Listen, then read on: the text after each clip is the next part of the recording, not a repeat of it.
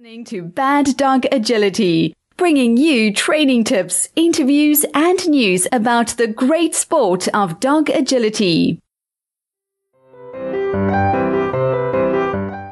I'm Jennifer. I'm Esteban. And I'm Sarah, and this is episode 279. Today's podcast is brought to you by thehititboard.com and the new Teeter Teach It, an easy to use tool that controls the amount of tip on your teeter so you can introduce motion to your dog in a gradual way. Go to hititboard.com for the new Teeter Teach It and other agility training tools and toys. Use discount code BDA10 to get 10% off your order. That's hititboard.com. Today we're going to be talking about pinwheels and dog agility. And that word can be very ugly for a lot of our listeners. Pinwheels uh, can be demotivating for dogs, and some people really, really don't like them. So, first, let's talk about pinwheels. Uh, I mean, let's define pinwheels. Jennifer, do you have a working definition for pinwheels? Like when a beginner comes in and they start taking classes, and everybody else in that class, they're on their second, third, or fourth dog, and this poor novice person, this is their first dog, and everyone's like, oh, it's a pinwheel. And they're like, what's a pinwheel? I don't know that I have a working definition, but I always try to describe it as very much what it is. So three, usually three or four jumps that kind mm-hmm. of fan out like the spokes of a tire, where the path of the dog is generally going to be perceived as being a circular path with the handler on the inside. So we typically see it with three or four jumps. Uh, you know, probably could be spread out and made a little bit bigger. But as you said, it is something that a lot of people look at and go, ugh, I am not excited to see that. Right. So first, let's talk about where you'll find these pinwheels. And I think the majority of pinwheels, when we look at it, when we look at dog agility on, on kind of a global level, is going to be here in uh, North America, specifically the United States. Uh, I think they are less popular and less common in uh, Europe, for example, where the courses are much bigger, and other parts of the world which tend to uh, model their courses more European rather than, say, those that you would find in the American Kennel Club. Uh, and I think there was a time, uh, I, want, want to say maybe 10 to 20 years ago, that pinwheels were like in every single agility course. Seems like to me, like there would be some pinwheel element. Um, okay, so let's talk about the kinds of problems that people are having uh, with pinwheels because you may be listening to this uh, podcast and you know you maybe did a pinwheel or two you're getting your dog ready for their first competition this is your first agility dog and you're like wait pinwheels are don't, people don't like pinwheels. Well, why not? What are the, some of the common problems, Jennifer, that you're seeing from uh, people that you're working with in your classes? Well, as you said, because we have that circular action and the handler is often in the middle of the circle, there can be a lack of motion. And the mm. lack of motion often then carries over to the dog that can be a lack of drive. Um, the handler is not moving, the dog decreases speed, or sometimes the dog will maintain speed, but because the handler is not moving, they feel like it's it's not going anywhere. They'll uh, rotate their shoulders a little early because they don't have anything to do. And I, I think, you know, what I try to talk to a lot of people about is it's it's often in the handler's head as much as it is the actual uh, challenges. Meaning, the handler already goes into it going, "Oh, it's a pinwheel. I won't be able to move." Well, you can move as much as the circle allows. You can increase your distance. I think the other thing that's that's um, important with pinwheels, and maybe we'll get here a little bit in talking about how we handle through it. But you know, quickest way to get from point A to point B is a straight line. So mm-hmm. really, when we think about a circle, we don't really want a circle. We want more connecting the dots, maybe like in a three jump pinwheel, um, more of a triangle. So rather than just standing in the middle and rotating, you know, putting your arm out and rotating through, kind of run up to the jump, decel, run and leave to the next jump, decel, kind of let your path move with the dogs and mimic the dogs as much as possible. But I think the big thing is those handlers just standing in the center, mm, rotating their shoulders, but not actually using motion and getting that decrease in speed. And as you mentioned, that lack of motivation. Yeah, that's very well put. I've never had that image put in my head about a pinwheel, but now that you said it, I think it's mathematically brilliant. Imagine a circle, and in the middle of that circle, you have a square, right? If you have like uh, four jumps, or a triangle, triangle. right? And so it's a, a circumscribed within within the circle. And so, which one is using more yardage, right? It's the circle. The circle is the longer path. But if you have your dog driving there on the triangle, the yardage is shorter right? And so that's really brilliant because that is exactly how I solve all problems uh, related to the pinwheel. Don't handle it like a circle. Don't handle it in the classic pinwheel fashion that Jennifer described perfectly, where you get to kind of sit in the middle. And that's why at first people kind of thought pinwheels were cool because they didn't have to do very much. They just stood in the middle, much, right? So it, it, it, felt like a very trained thing where I'm being so awesome, and the dog kind of knows what to do. They know to take these three or four jumps with me kind of here in the middle, and I, I don't need to run around uh, quite so much, right? And so in an era when these came out, kind of the the the distance lateral handling era, right? Uh, now things are, are have shifted away from that, and not only that, courses are more complex so judges can throw pinwheels out there, right? And pinwheel setups, and then lure the handler into starting pinwheel handling. But then the dog actually needs to go and do something else. But too late, they've started the pinwheel, and the, and the dog says, Hey, hey, no, I got it. We're doing a pinwheel here.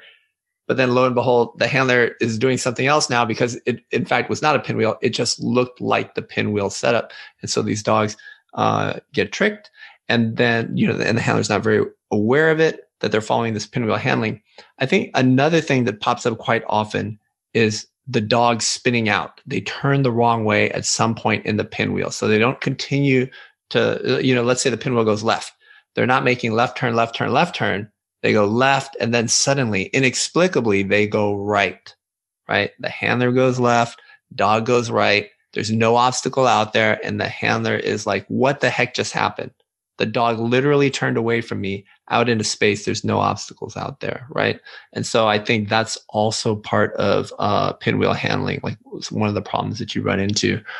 Um, what else was I going to say about something? Something about course design. I had the thought, and then I think it just escaped me.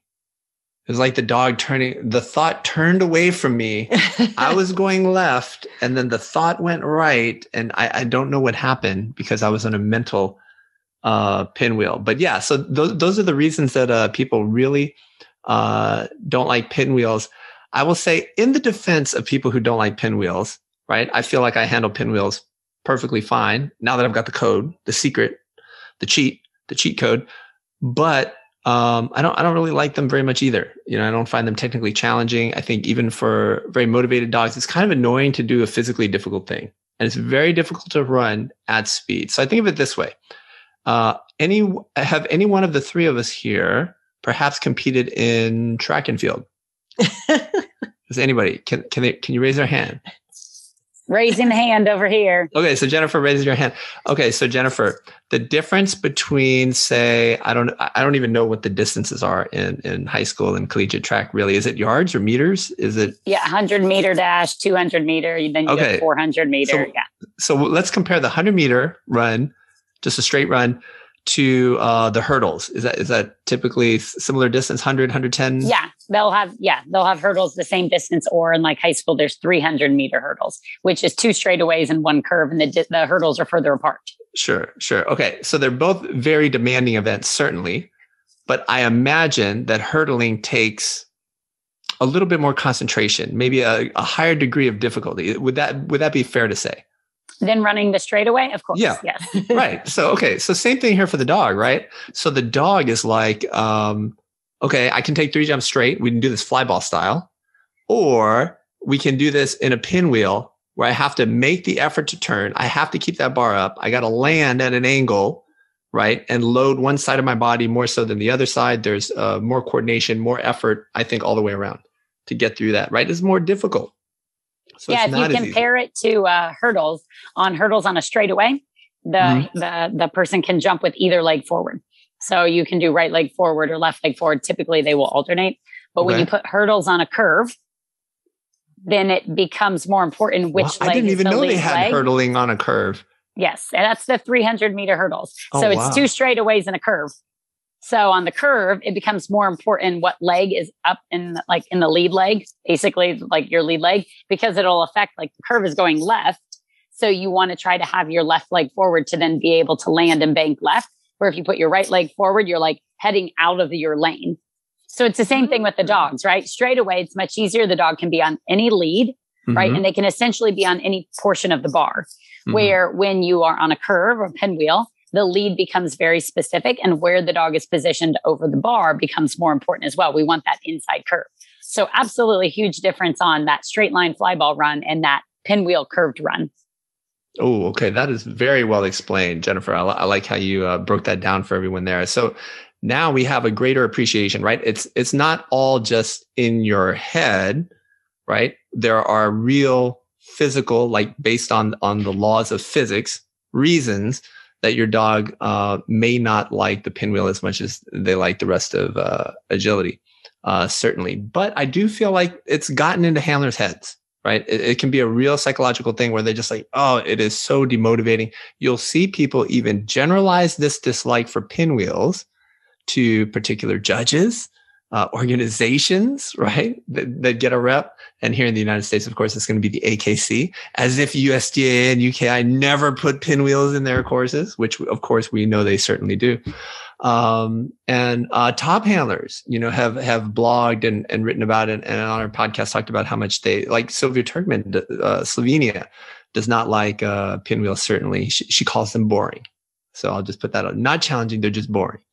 Uh, and let's move then to uh, solutions. So Jennifer, what are some things you like people to think about when they're trying to solve the issue? I guess let's start w- with um, um, I, I, guess it might be the same solution for for all problems related to it, but it's, it's demotivation. I think it's probably the number one thing that people say about uh, pinwheels. W- w- what is your answer to that?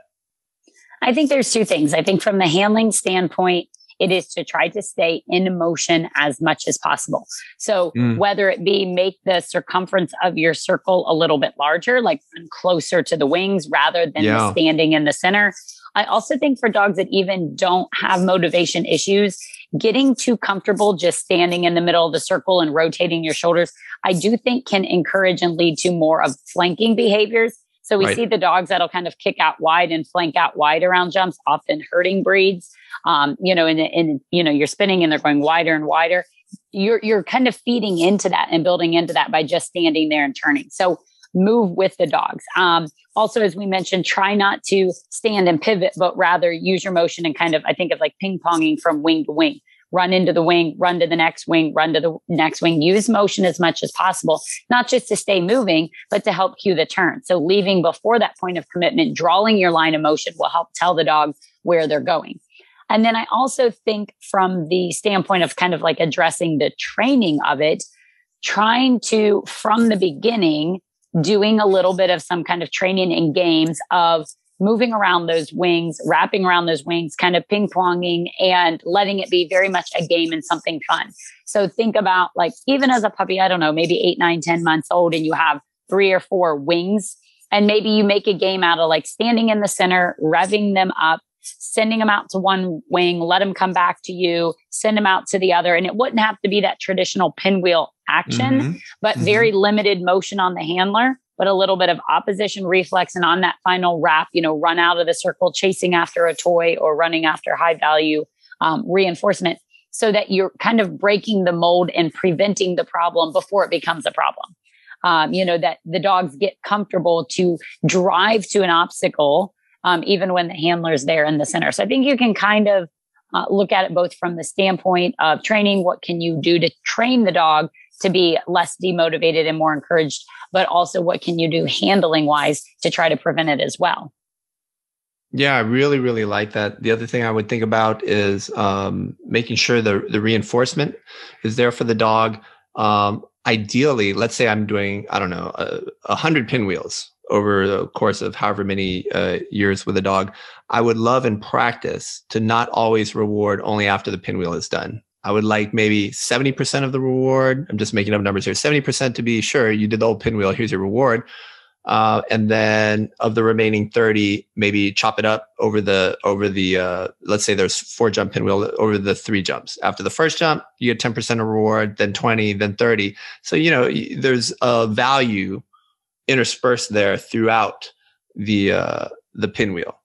Um, but I think you've absolutely hit the nail on the head with the the solution, and it's to actually do a little bit more running. Not not necessarily running faster, but your yardage will be a little bit more. I love how, how you call it uh, wing to wing because that that I've used that very phrase in feedbacks. Yeah, absolutely. Yeah, no, yeah. I mean, I, it's just it's funny because um, when we were preparing for this podcast, all we really told Jennifer was that we were going to talk about pinwheels. We didn't really prep her, but she gave the exact answer that we um, that we also use in our own training, which is that wing to wing handling. So uh, I love it when uh, with when great minds have the the exact same solutions. It kind of reinforces uh, each of us that uh, we're on the right track. But that's exactly what um, that's exactly how we handle them and how we coach people to handle them is to uh, run them as a series of short, straight lines right. rather than you are a point that is pivoting around in a circle. Right. So, and that word pivoting, I think, is so huge. And pivoting can often